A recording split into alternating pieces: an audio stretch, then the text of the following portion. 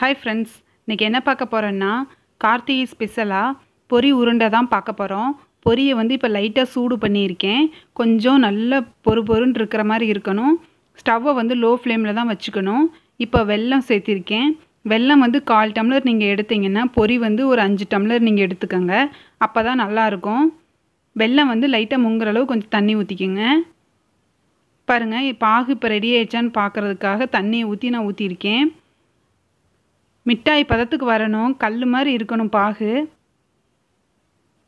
அப்போ தான் வந்துட்டு பொறி உருண்டை நல்லாயிருக்கும் பாருங்கள் இந்த மாதிரி இருக்கணும். இப்போ வந்து பாகு ரெடி ஆயிடுச்சு. நம்ம வந்து ஸ்டவ்வை ஆஃப் பண்ணிக்கலாம்.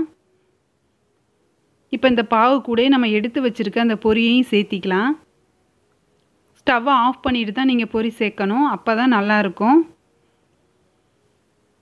நீங்கள் கரெக்டான அளவு சேர்த்திக்கிட்டிங்கன்னா இந்த மாதிரி தண்ணி இல்லாமல் இருக்கும்.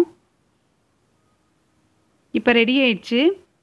கையில் எண்ணெயோ நெய்யோ தடவிக்கங்க. நான் நெய் தடவி தான் பிடிக்கிறேன். சூடு அதிகமாக இருக்கும். பார்த்து நீங்கள் பிடிச்சிக்கோங்க. இப்போ சின்ன சின்ன உருண்டைகளாக நான் பிடிச்சி வச்சுக்கிறேன். பாருங்கள் சூப்பரான பொரி உருண்டை ரெடி ஆயிடுச்சு.